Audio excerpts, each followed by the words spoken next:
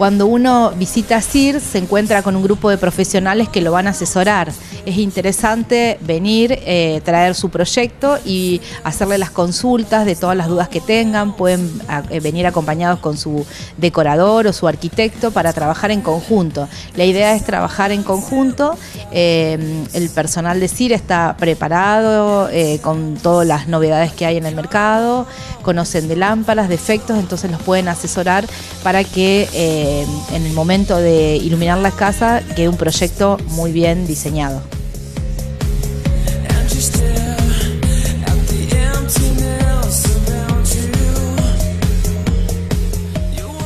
Hoy eh, conviven varias, eh, varios estilos en lo que es la decoración y eso también se traduce a lo que es la iluminación.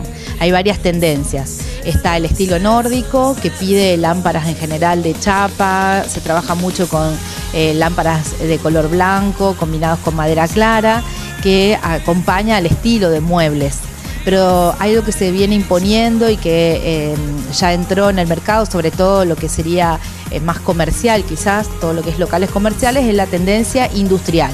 La vuelta del hierro, el uso de lámparas de hierro, donde la lamparita queda a, la vista y también es protagonista.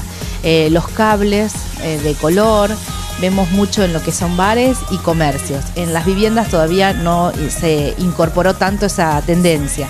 Sí vuelve también el cobre, es un material que se había dejado de usar y en este último tiempo vemos que aparecen las lámparas de cobre para colocar sobre una mesa, para colocar en, distintos ambientes de la casa, porque hay lámparas de pie, de mesa. Entonces los metales son los que empiezan a ser protagonistas en esta nueva etapa.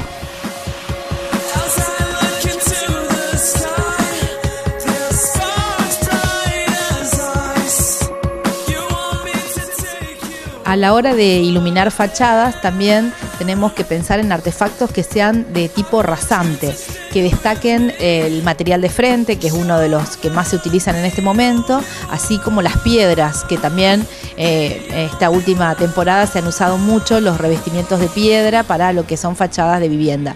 Y la iluminación rasante o desde abajo hacia arriba, que se llama efecto drama, el efecto buscado, son de los más interesantes para eh, lograrlo.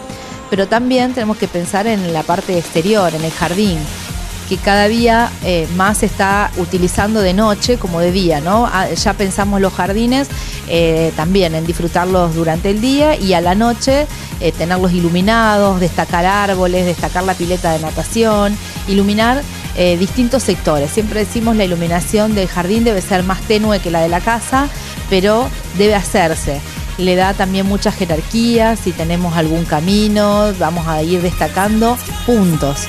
Siempre es importante hacer distintos sectores, si hay un sector de flores, si hay algún árbol interesante, eh, iluminarlo desde abajo, eh, ver el follaje que tiene, tratar de que se destaquen los distintos verdes, buscando las lámparas adecuadas, aparte del reflector o el tipo de lámpara que vamos a colocar, em, buscar que se resalte ese color que por ahí hemos comprado en lo que es vegetación.